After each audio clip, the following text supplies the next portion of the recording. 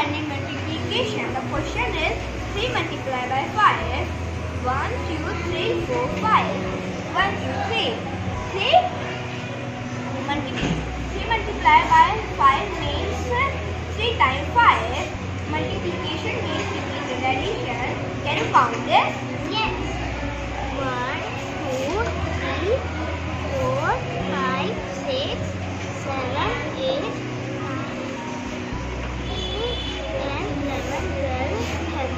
on is 50. The answer is 50.